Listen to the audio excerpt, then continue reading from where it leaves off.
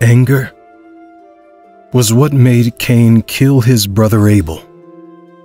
We know this story. They both offered sacrifices to God. And God accepted Abel's sacrifice and not Cain's sacrifice. This made Cain angry.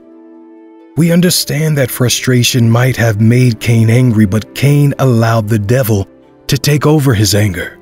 It became uncontrollable. Genesis 4 6 through 7 NIV. Then the Lord said to Cain, Why are you angry? Why is your face downcast? If you do what is right, will you not be accepted?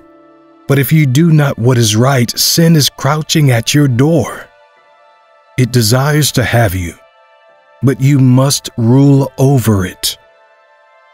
God asked Cain why he was angry when he did not do the right thing. Cain did not control this anger but allowed it to control him. Sin came into the life of Cain through anger and destroyed him. Cain killed his brother Abel in the end. The first murder in human history was not against two people who were enemies. It was not between two distant groups of people, no. It was because of two brothers that were flesh and blood. This is what we call nowadays a crime of passion. If we could look through the corridors of history, a great deal of all murders will be because of crimes of passion. Are you allowing anger to control your life? Have you realized that you just get angry at some times or some people for no reason? Have you noticed that when you get angry, it is hard for you to control it? I need to tell you the truth. You are going against the warning that has been given about anger. I want to warn you. You are allowing destruction at your doorstep. You are positioning for what you will regret going into. No one said it is easy to control your anger. And no one is judging you for having the problem. But you need to control it before it controls your future. Do you know how many people are regretting being in jail today because they made the wrong step by getting angry. Do you know how many people have lost a big opportunity because of anger? If the devil cannot get you easily, he will make sure that he sends people to test your patience. And if you fail, he will send the spirit of anger to control. Someone said, Getting angry is not a sin, but going in the direction of anger is sin. Don't deceive yourself. What are the other reasons we are warned against anger in the Bible? 1. Anger is an enemy of righteousness. James 1 19 through 20.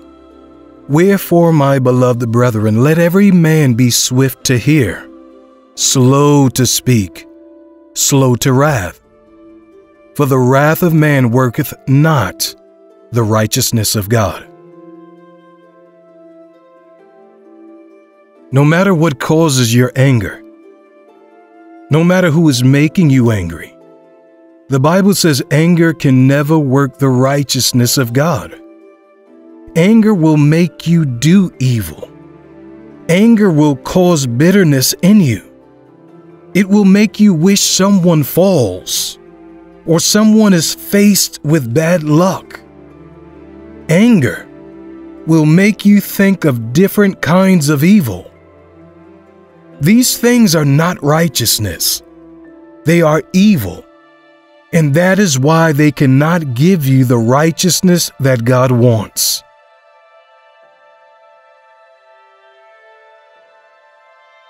If you want the righteousness that God wants, you must run away from the spirit of anger.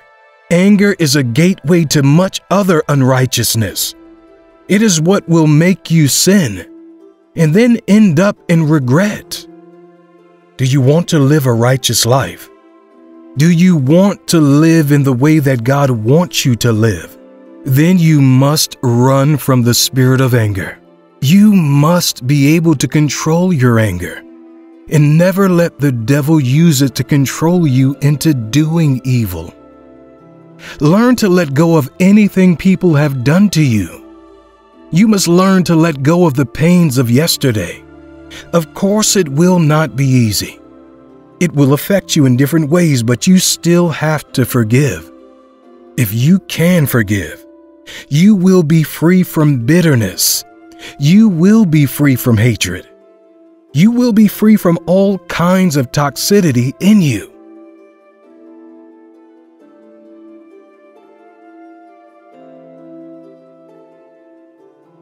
2. Anger is for the fool. It makes you become a fool. Ecclesiastes 7 9. Be not hasty in thy spirit to be angry, for anger resteth in the bosom of fools. The reason why the Bible says anger is for the fools is that only people who don't know the side effects of anger will get angry and live in anger. And then even sin in anger. They don't have the knowledge of the repercussions of anger. When you know all the repercussions, when you know that anger can destroy you, when you know anger can make you do things that you will regret, and you still get angry, you are a fool.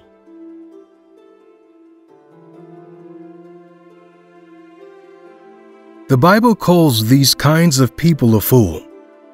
You know what anger can bring to your life, but you still allow the spirit of anger to control you and land you in trouble. Don't allow anger to rest in you. Do you want to know how to mess up your life and make decisions out of anger? No decision made out of anger is a smart decision. Anger will make you make a dumb decision, foolish decisions. To fight someone over an argument is foolish. But that is what anger will do.